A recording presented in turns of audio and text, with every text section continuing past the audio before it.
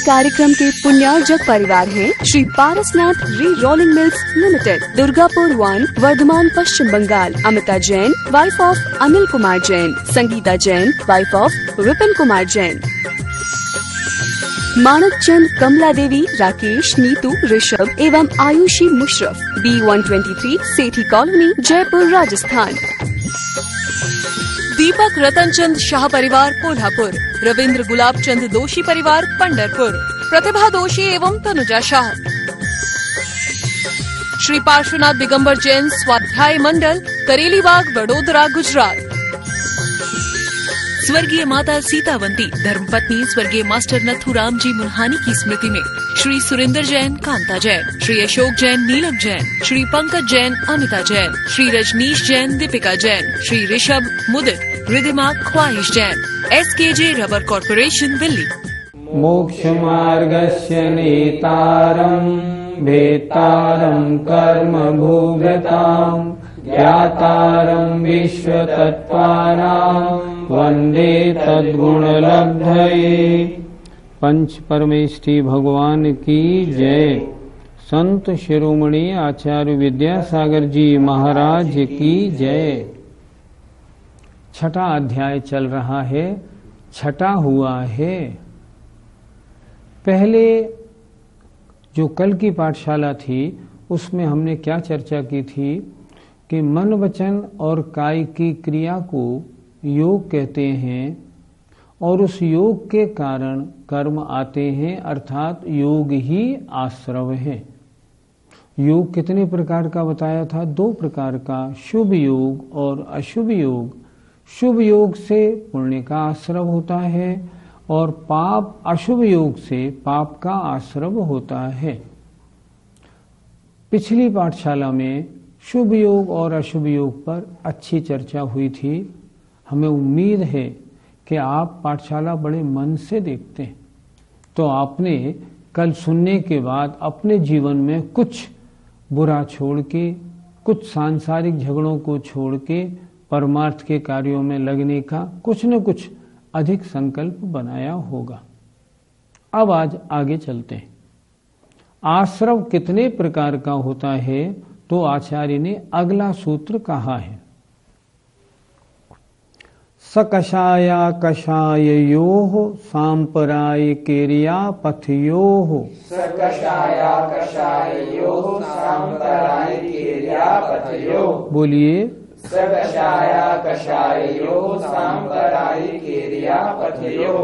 संधि विच्छेद करके समझेंगे सकषाय अकषायो सकषाय कषाय सहित जीवों के अकषाय यो संधि विच्छेद कर लिया।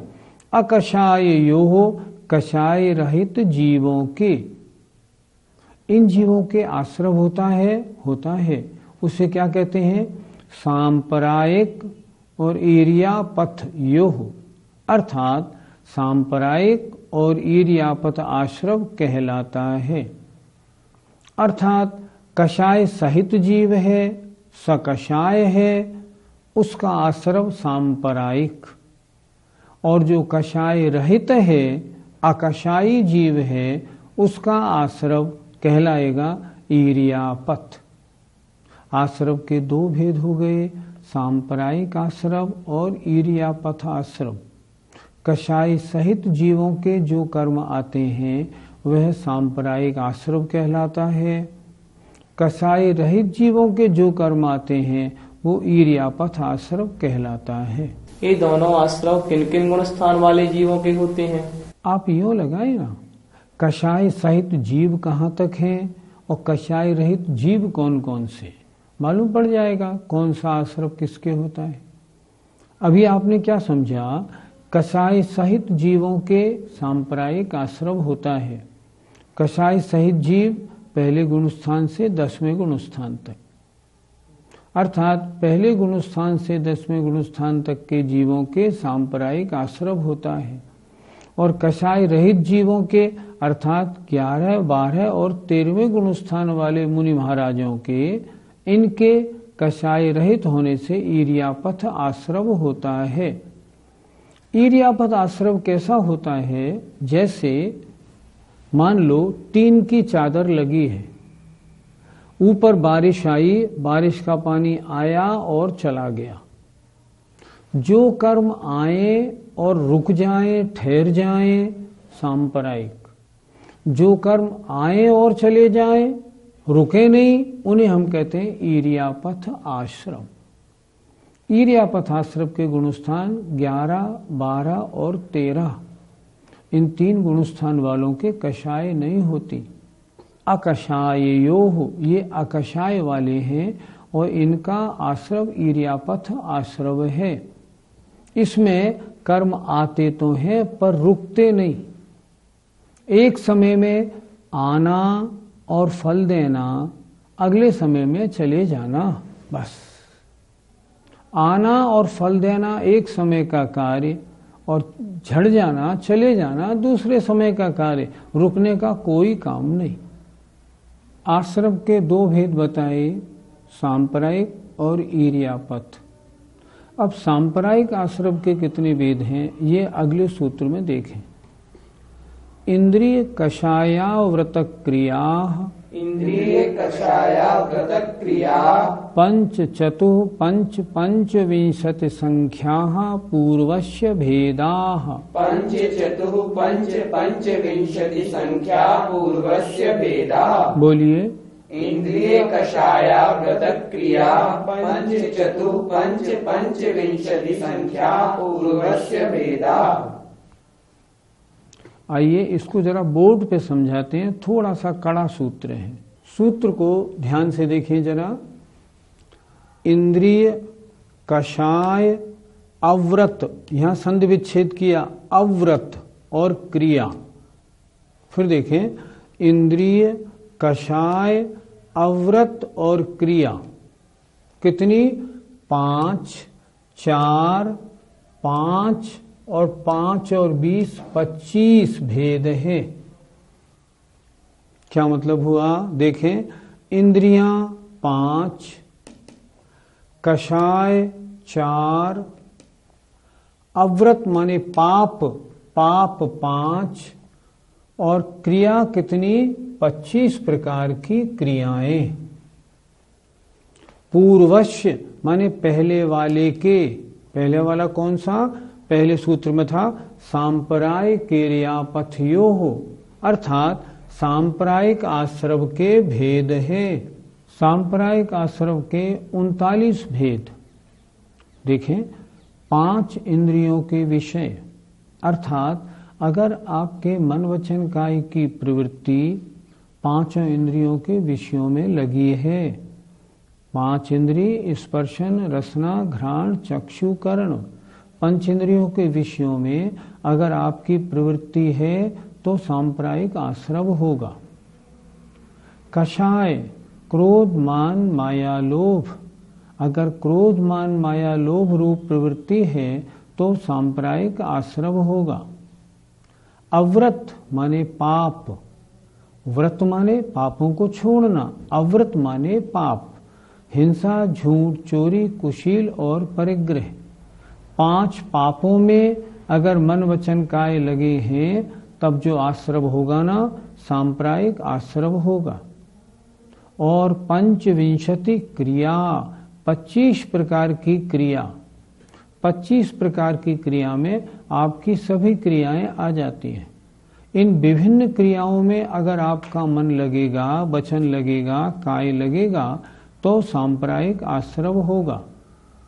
25 क्रियाओं का वर्णन विशेष तो विभिन्न शास्त्रों में मिल जाएगा, लेकिन सबसे ज़्यादा इसमें समझने वाली दो क्रियाएँ हैं। एक सम्यक्त क्रिया और एक मिथ्यात्व क्रिया। सम्यक्त क्रिया, सच्चे देव शास्त्र गुरु की भक्ति, पूजा आदि, जो सम्यक्त को बढ़ाने वाली क्रियाएँ हैं, उन्हें कहते हैं सम्यक्त क्रिया। सम्यक्त क्रिया अर्थात सम्यक्त को बढ़ाने वाली सच्चे देव शास्त्र गुरु की भक्ति आदि का करना, इसका नाम सम्यक्त की बढ़ाने वाली क्रिया होने से सम्यक्त क्रिया है। ये सब क्रियाएँ, ये सम्यक्त को बढ़ाने वाली सम्यक्त वर्धनी क्रियाएँ हैं। मिथ्यात्व क्रिया इससे विपरीत ले ले। जो सच्चे देव शास्त्र गुरु नहीं हैं अर्थात जो जो दे अरहंत भगवान, सच्चे देव जिनवाणी सच्चे शास्त्र, निर्ग्रंथ गुरु के अलावा जो अन्य देव शास्त्र गुरु सभी और अन्य सब धर्मों के हैं, उनके साथ उनकी भक्ति, उनमें अनुराग, उनका सम्मान, उनकी सेवा आदि करना ये मिथ्यात्व क्रिया है। हम रोज पूजा में बोलते हैं ना देव शास्त्र गुरु रतन, शुभ तीन रतन करतार। ये सच्चे देव, सच्चे शास्त्र और सच्चे गुरु, ये सम्यक दर्शन, सम्यक ज्ञान, सम्यक चारित्र को देने वाले हैं। पर हाय हाय, हमने इनको तो छोड़ दिया। और जो सच्चे देव शास्त्र गुरु नहीं है, उनके चक्रों में फंस के सारा जीवन नष्ट करने लगे। और तो और, जो हमें सन्मार्ग दिखाने वाले साधुगण थे वे हमारी प्रवृत्ति हमें उस ओर ले जाने लगे कि नहीं नहीं, इनकी पूजा करो, नवग्रह की पूजा करो, देवी देवताओं की करो। क्या हो गया? बहुत गड़बड़ है। ये सब मिथ्यात्व क्रिया में आएगा। हमारे आराध्य मात्र नौ देव हैं, अन्य नहीं। पाँच परमेष्टि जिन वाणी, जिन धर्म, जिन चैत्य और चैत्यालय। कोई भी देवी देवता हमारे आराध्य नहीं हमारे पूज्य नहीं। इसलिए उस चक्कर में बिल्कुल न पड़े, अन्यथा मिथ्यात्व क्रिया होगी। होगा क्या? दर्शन मोहनी का बंद होगा। बड़े भाग्य से मनुष्य पर्याय मिली है। भरत क्षेत्र में, दिगंबर जैन कुल में हमने जन्म लिया है। अगर हमने इस पर्याय का लाभ नहीं उठाया तो क्या होगा? अनंत काल फिर संसार भ्रमण होगा। वर्तमान में इन क्रियाओं को करके तो पहुँचे चिर दर्शन मोह एव। हम अपने दर्शन मोहनी को और पुष्ट बना रहे हैं। हटे, हटो इनसे, छोड़ दो। सच्चे देव शास्त्र गुरु की आराधना में लगो, क्योंकि इनके अलावा और कोई आराध्य है ही नहीं। और इसका नाम है सम्यक्त क्रिया। अगर इन क्रियाओं में लगे रहेंगे आजकल बहुत से लोग तो ऐसे हैं जो मिक्स हो गए, अन्य धर्मों के व्रतों को करने लगे।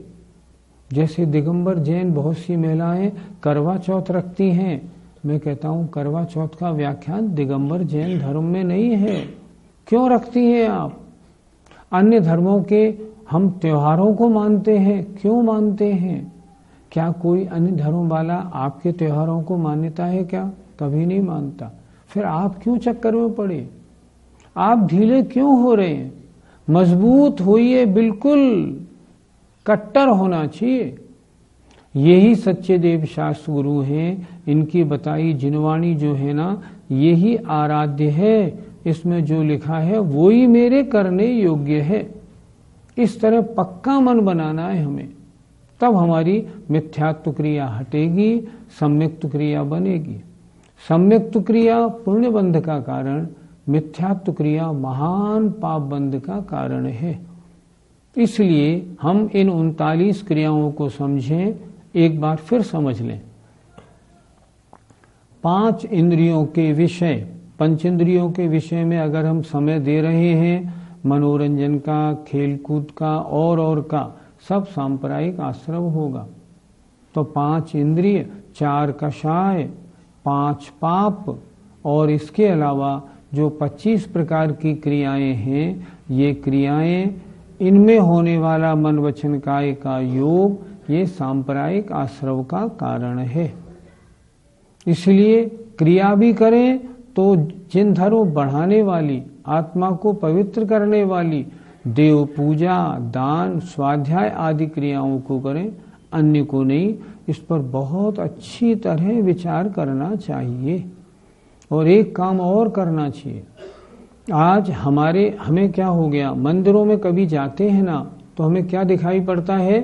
सब तीस चालीस बरस से ऊपर के स्त्री पुरुष दिखाई पड़ते हैं। यंग तबका मंदिरों में आता ही नहीं। उनको पढ़ाई से फुर्सत नहीं, टीवी से, कंप्यूटर से और कार्यों से फुर्सत नहीं। कभी आपने सोचा, हम और आप तो चले जाएँगे, हमारे बाद में विरासत में इस धर्म की रक्षा करने वाली जो हमारी संतान है ना, उसका क्या होगा? वो कहाँ जा रही है? उसे रास्ते पे कैसे लाएँ? हमने कभी नहीं सोचा। क्या होगा? सब कुछ हमारा चला जाएगा। मंदिरों में यंग लोगों की, बच्चों की उपस्थिति बिल्कुल नगण्य हो गई। मैं जब भी जाता हूँ, देखता हूँ मंदिरों में तो सोचता हूँ, ये हो क्या रहा है? बच्चों में संस्कार नहीं डालेंगे, कैसे धर्म हमारा चलेगा? हमें इस पर अच्छी तरह विचार करना चाहिए।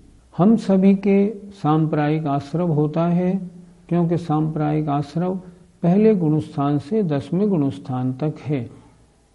हम मान लो, हमारा चतुर्थ गुणस्थान है, हम अमृत सम्यक दृष्टि भी हैं। तो भी हमारा जो आश्रव है, सांप्रदायिक आश्रव होगा। तो प्रश्न ये उठता है तो क्या सांप्रदायिक आश्रव सभी जीवों के एक सा होता है, या किन्हीं कारणों से उसमें विशेषता भी होती है? अगला सूत्र देखिए। तीव्र मंद, ज्ञाता ज्ञात, भावाधिकरण, वीर्य विशेषेभ्य तद विशेष तीव्र मंद ज्ञाता ज्ञात भावाधिकरण वीर विशेषेभ्य तद विशेष बोलिए। तीव्र मंद ज्ञाता ज्ञात भावाधिकरण वीर विशेषेभ्य तद विशेष इस सूत्र का अर्थ भी बोर्ड पे देखते हैं जरा। आश्रव में किन कारणों से विशेषता होती है इस सूत्र में हमको यह समझना है। देखें जरा। तीव्र, मंद, ज्ञात, अज्ञात और भाव। इसको हम कैसे लगाएँगे? तीव्र भाव, मंद भाव, ज्ञात भाव और अज्ञात भाव। और अधिकरण विशेष और वीर विशेष से तत् माने उस आश्रम में विशेषता होती है।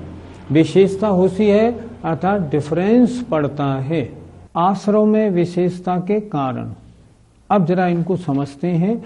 ये सूत्र बहुत समझने वाला है। तीव्र भाव और मंद्र भाव। हमने कोई कार्य किया, अगर उसमें हमारा तीव्र राग है, तीव्र द्वेष है, तीव्र कषाय है तो आश्रव और प्रकार का। और अगर मान लीजिए मंद कषाय है, मंद राग द्वेष है, उससे कुछ भी किया तो वह है अलग प्रकार का। सब तरह देख लें। मान लीजिए आप पूजा करने बैठे हैं और पूजा करने में आपका मन नहीं लग रहा। क्यों नहीं लग रहा? आप पूजा मात्र पढ़ रहे हैं, अर्थ पर आपका ज्ञान नहीं। पंचमेरु नंदीश्वर दीप की पूजा आप कर रहे हैं आपको पंचमेरु नंदीश्वर दीप के बारे में जानकारी नहीं। क्या होगा? मन तो लगेगा, मंद मंद लगेगा। तो पुण्य कितना मिलेगा? पुण्य भी थोड़ा थोड़ा मिलेगा। और अगर आपको पूरा ज्ञान है, आपने आँख बंद किए और आपने ऐसा सोचा, सामने आपके पंचमेरु और अस्सी जिनाले बन गए और आप भक्ति में डूब गए, तीव्र भाव तो पुण्य भी कैसा मिलेगा? आश्रम शुभाश्रम भी कैसा होगा? बहुत उत्कृष्ट कोटि का होगा। जैसे भाव, वैसे आपके परिणाम, जैसे आपके परिणाम, वैसा आपका आश्रम। तो तीव्र भाव और मंद भाव, ज्ञात भाव और अज्ञात भाव, कोई भी कार्य अगर आपने जान के किया है, समझ के किया है, अच्छी प्रकार ज्ञान पूर्वक किया है, उसका आश्रव अलग होगा। अज्ञान पूर्वक क्रिया है तो उसका आश्रव अलग होगा। देखिए, कितना फ़र्क पड़ता है। एक एग्ज़ाम्पल देता हूँ। एक सज्जन ने आइसक्रीम खाई, बाज़ार से खरीदी और वो आइसक्रीम खाने लगे। हमने उनसे कहा, भैया, देखो, आइसक्रीम में अंडा डाला जाता है। उन्होंने कहा, नहीं, आजकल गर्मी बहुत है, मुझे आइसक्रीम बहुत अच्छी लगती है, आप झूठ बोलते हैं, इसमें अंडा नहीं डाला जाता। हमने कहा अच्छा चलो, दुकान वाले से पूछते हैं। हम उसके पास चले गए। हमने कहा, भैया, इस आइसक्रीम में अंडा तो आप डालते हो ना? कि हाँ अंडा डालते हैं इसको प्रोटीन रिच बनाने के लिए। उन्होंने कहा, ठीक। अब हमने उनसे कहा, भैया, अब जब ये कह रहा है ना कि इस आइसक्रीम में अंडा पड़ता है ना तो इसको आप फेंक दो। तो वो बोले, मैं नहीं फेंकूँगा, अब तो मैं से और रुचि पूर्वक खाऊँगा। आप सोचो, कल तक उसी आइसक्रीम को खाने में उतना पाप नहीं था, जो आज ज्ञात हो जाने पर भी खाने में पाप लग रहा है। आपको मालूम पड़ गया, दही और दाल मिला के अगर खाएँ तो दुदल होने से जीव हिंसा लगती है। आपने प्रवचन में सुन लिया और आपको मालूम है। फिर भी अगर आप खाते हैं तो ज्ञात भाव बहुत पाप लगेगा। अज्ञात भाव में जो हिंसा आदि होते हैं, उनका आश्रम कम होता है आश्रम कमज़ोर होता है। और जान करके उसी कार्य को किया जाए, जानने के बाद भी किया जाए, इसका मतलब तीव्र तीव्र राग वशात किया जाए तो उसका आश्रव अलग प्रकार का होगा। तो ज्ञात, जानबूझकर करने का आश्रव अलग प्रकार का, अनजाने में जो हो रहा है, उसका आश्रव अलग प्रकार का। आगे देखिए, तीव्र भाव, मंद भाव हो गया, ज्ञात, अज्ञात भाव। अधिकरण विशेष अधिकरण विशेष मान लीजिए, आप पूजा करने के लिए बैठे।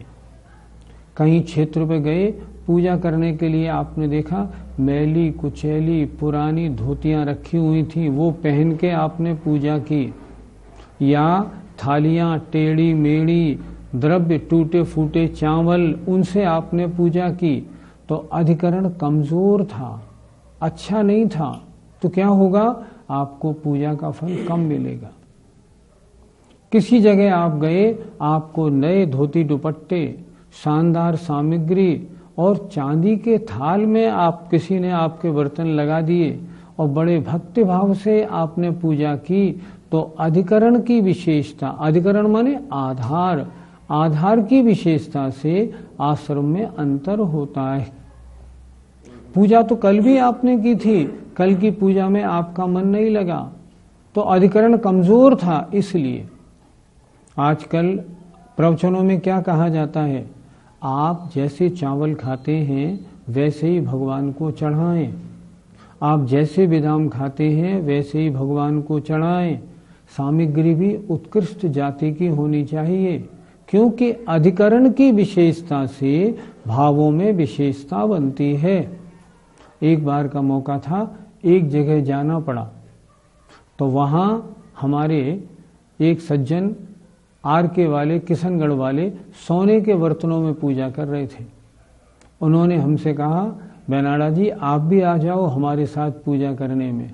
हमने उनके साथ सोने के बर्तनों में पूजा की। इतना आनंद आया जो हम कह नहीं सकते। तो ये पुण्यबंध क्यों हुआ? ये हुआ अधिकरण विशेष की वजह से। और अधिकरण कमज़ोर हो तो पूजा में मन नहीं लगेगा, आपको पुण्यबंध कमज़ोर होगा। अंतिम दिया उन्होंने वीर्य विशेष। वीर्य कहते हैं शक्ति। शक्ति अगर कम है और ध्यान लगाएँगे तो ध्यान अच्छा नहीं लगेगा।